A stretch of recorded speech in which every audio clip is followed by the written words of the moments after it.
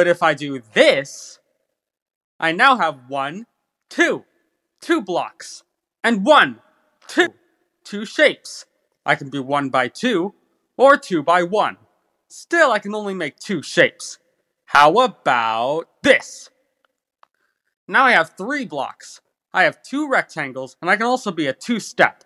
I am one plus two. Now the rest of you can try.